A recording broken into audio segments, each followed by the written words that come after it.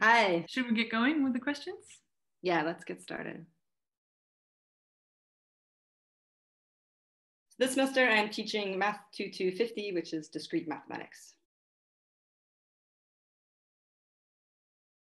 So this course covers three topics. We do enumerative combinatorics, graph theory, and modular arithmetic.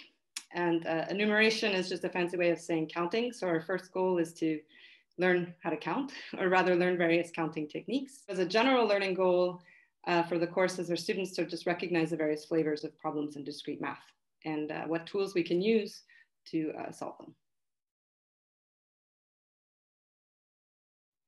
So in terms of formal assessment, there is a pass-fail uh, take-home midterm assignment, and uh, then there's also a final more traditional final exam. Since uh, the only midway formal assessment that's done is the take home, I try to give my students lots of feedback and almost always ask for resubmissions. Not because I need the assignments to be perfect, but because this is the kind of only formal time that we have a conversation about their work.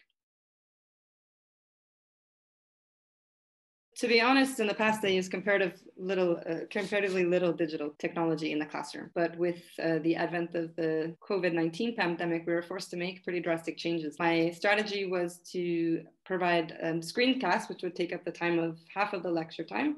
And the second half of each lecture time, we spend meeting on Zoom to discuss and work together. The Zoom features of breakout rooms and the polling to sort of give the students warm up quizzes have been really effective um, in engaging them. So I want to find ways of transferring these back to the physical classroom.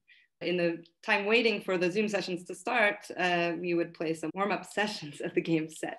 so this is a popular card game, but it's also uh, based on affine finite geometries. So this fits into the modular arithmetic section of our course. Conversations with other teachers have been essential to developing teaching. So, uh, for example, this course, Math 2250, is a brand new course and uh, wouldn't have been possible without the conversations with other faculty members or things like content and um, strategy and how it fits into the other learning programs. Other more local things about the course. So, for example, in coming up with uh, the assignments and exams, uh, it's always good to run these by other teachers. And uh, certainly with the COVID changes, it was very important to be able to talk to each other to uh, discuss what strategies for online learning were effective.